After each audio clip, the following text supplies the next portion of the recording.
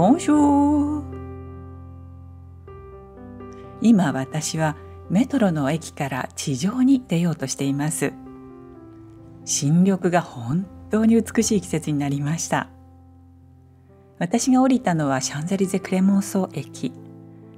つまりシャンゼリゼ通りにあるんですがそれでもこんなたくさんの緑が広がっているんですよ。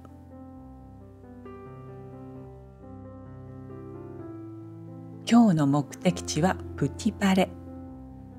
ここでサラ・ベルナール展というエクスポジションが開かれています。サラ・ベルナールというのはフランスの女優の名前です。19世紀から20世紀にかけて活躍した大女優。あら久しぶりにこの光景見ました。ウェディングの記念撮影。パリの名所を巡ってこうやって写真を撮ってるんですよね。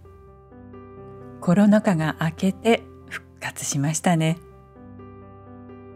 このプチパレの建物素晴らしいでしょ？う扉がとっても優雅。はい開きました。中に入りましょう。この建物1900年のパリ万博の時に建てられたものです。今はパリ市の美術館になっています。床のモザイクタイルがまあ素晴らしいこと。色大理石の階段もまるでお城ですね。サラベルナールという名前はフランスに暮らしていると時々耳にします。その名前のカフェがあったりしますし。けれども私自身あんまりよく知らないんですよね。なので今回はとてもいい機会。副題がそして女性がスターを作った。というもの。この方がどれほど偉大だったのか。ご一緒に見ていくことにいたしましょう。これがサラ・ベルナールの写真。写真の歴史に興味を持っていらっしゃる方でしたらおそらく目にしたことがあると思います。写真が誕生して二十数年ぐらいというタイミングで撮られているナダールの作品。この時彼女は15歳くらいのようなので、うん、随分大人びていますね。これはなんと高級娼婦たちが登録されている台帳でこれがサラ・ベルナールのページ。つまり彼女は若い頃高級娼婦でもありました。実はお母さんもおばさんも同じ職業でそもそもお母さんの愛人というか上顧客だったナポレオン三世の弟モーニー公爵がサラが女優になることを勧めたのだそうです。この辺りはすでにコメディ・フランセーズで舞台に立っていた時のサラ・ベルナールですね。写真の横には実際にサラが身につけていた王冠ですとかコルセットなども展示されています。かなり細い体をしていたなと想像できます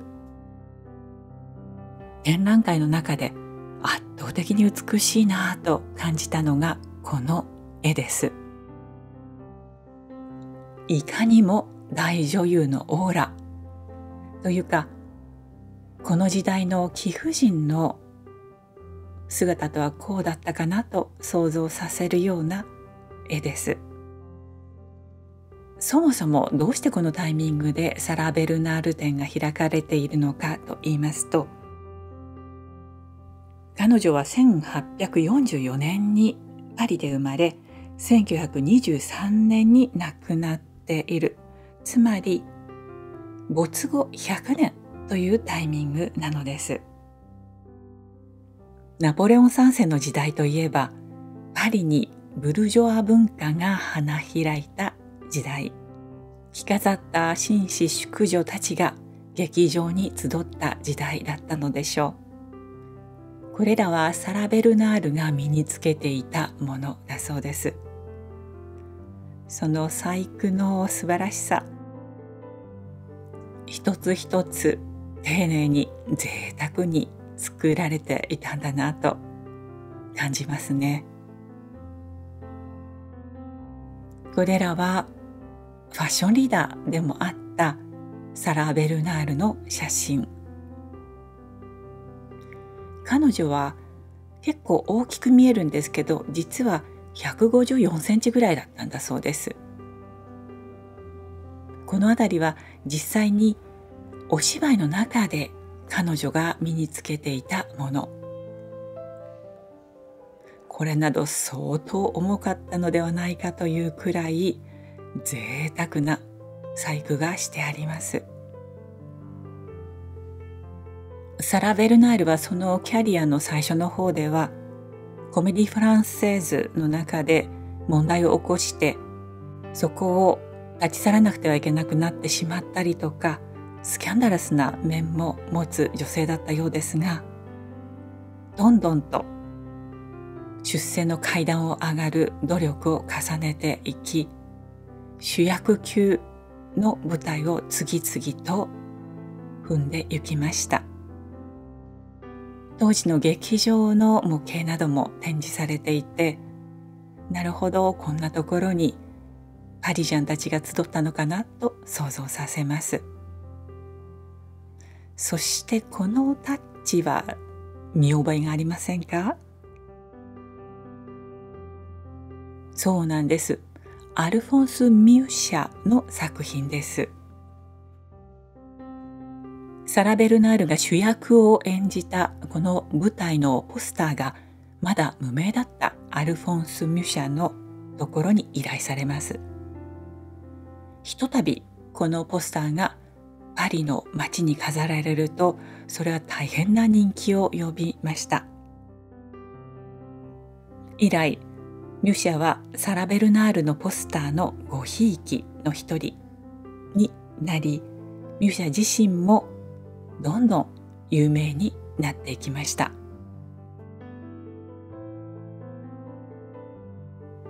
現代では当たり前になっている広告の大切さをサラはこの時すでに直感していたと言えるようです。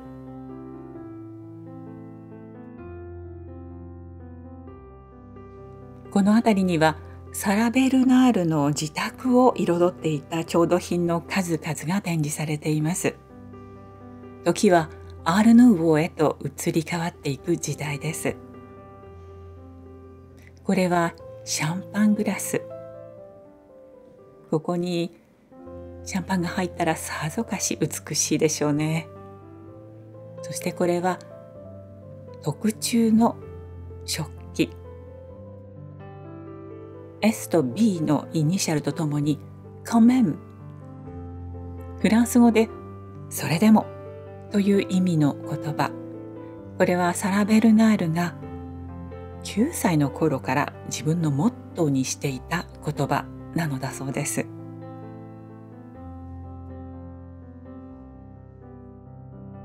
江戸時代の日本で作られたこんな立派なオブジェもサラの所有物でした。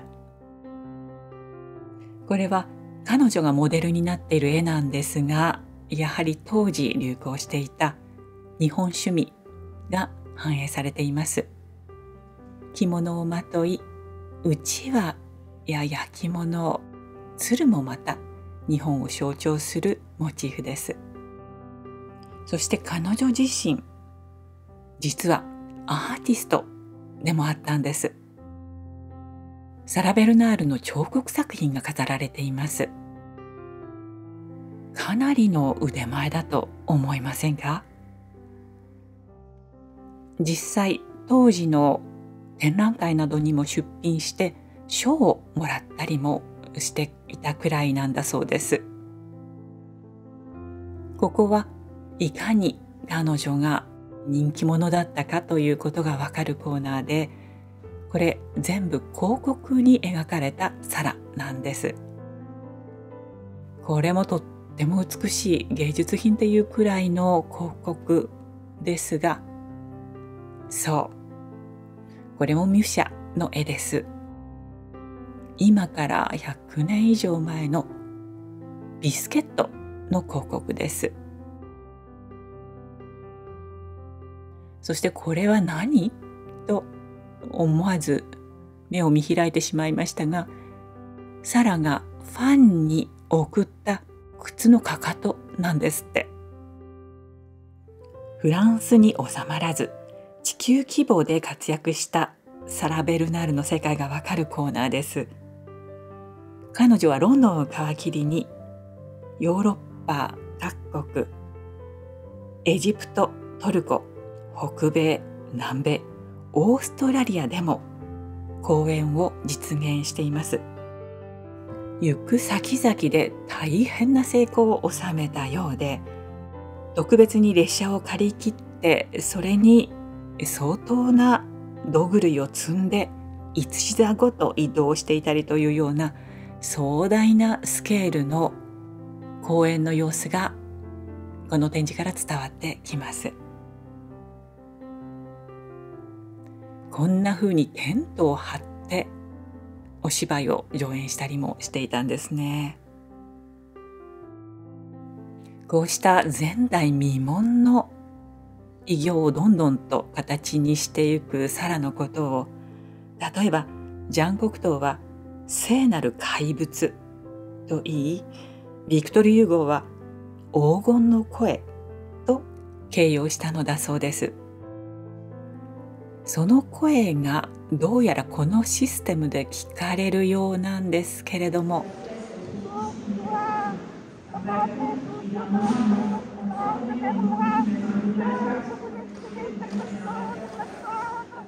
うん当時の録音技術ではその黄金の声の完全なる魅力はちょっと伝えることができなかったかもしれませんね。そうサラは男性の役も好んで演じたそうでそれってまさに日本の宝塚の大スターの先駆者かもしれませんね。この辺りはサラをジャンヌ・ダルクに例えている絵があるんですが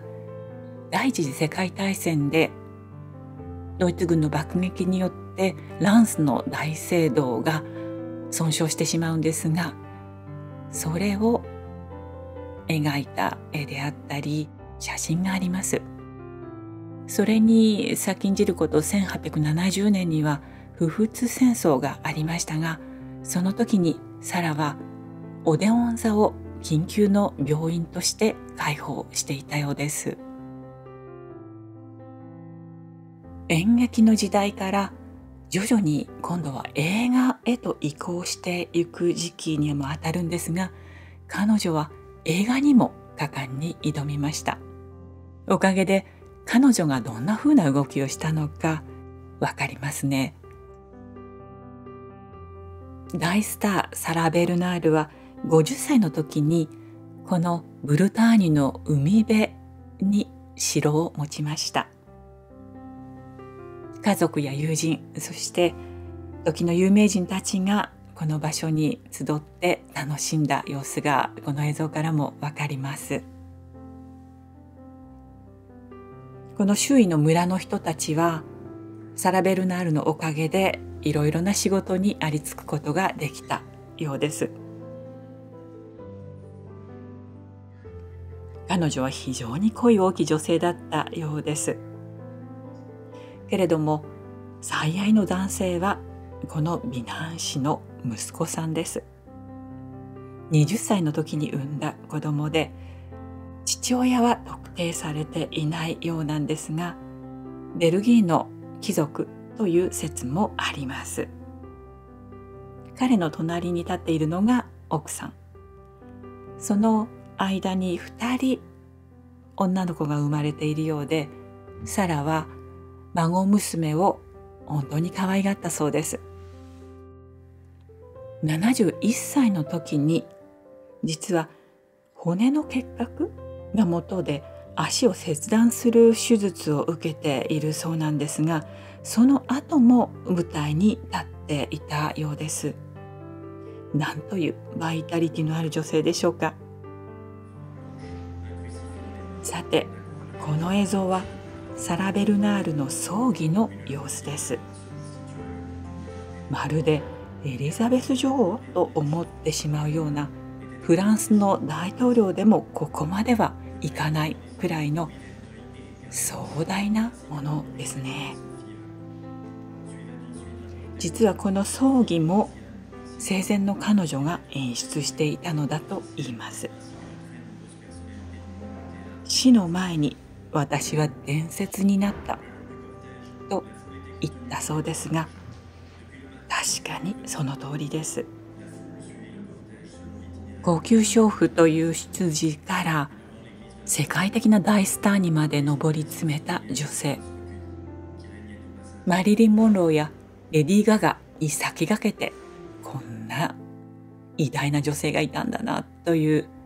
圧倒的な存在感に打たれる。展覧会です。さてプティパレは建物そのものも本当に素敵なところなんです。この中庭に面して実はカフェがあるんです。中はとても開放的でセンスのいい内装だと思いませんか？ここではお茶とスイーツあるいは軽食もいただけます。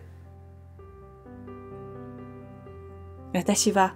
お昼のセットメニューの中のホットサンドしかもパイ生地を使ったサンドイッチというのをいただいてみることにしました。デザートはブラウニー。展覧会の印象が圧倒的な感じを受けたので少しこれでほっとしたいと思います。